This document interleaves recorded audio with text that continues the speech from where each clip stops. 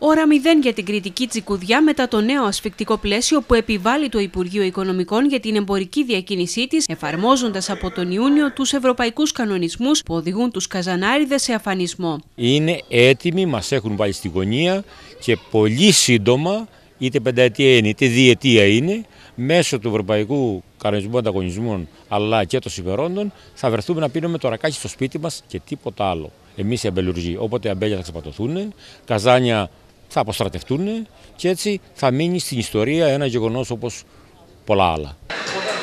Αφού χάθηκε πολύτιμος χρόνος για την προσαρμογή των παραγωγών, την ίστατη στιγμή οι καζανάριδες αναζητούν λύση για τη σωτηρία του κλάδου μέσα από την ένωσή τους σε ένα σχήμα όπως οι ομάδες παραγωγών, έτσι ώστε να συνεχίσουν να παράγουν αλλά και να εμπορεύονται το προϊόν τους. Δεν καταφέραμε στην τοπική παραγωγή να παρακολουθήσουμε τις εξελίξεις και να εξυγχρονίσουμε και τον τρόπο παραγωγής και τον τρόπο διάθεσης των προϊόντων. Είναι η συλλογική οργάνωση των αποσταγματοποιών, ο έλεγχος, η ποιότητα, η τυποποίηση και η ταυτοποίηση του προϊόντος και η προώθησή του ως τυποποιημένο προϊόν.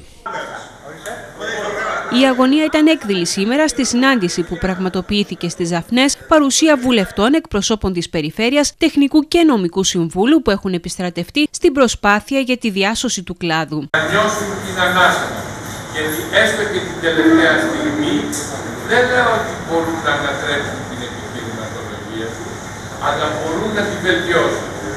Το δεύτερο που επιμένω είναι η αξιοποίηση Κάθε φορά πρέπει να προετοιμαζόμαστε για τις αλλαγές που έρχονται και για να βρισκόμαστε ένα βήμα μπροστά από τις εξελίξεις. Δυστυχώς τώρα ακολουθούμε τις εξελίξεις, αλλά πιστεύω ότι αν οργανωθούμε θα προλάβουμε.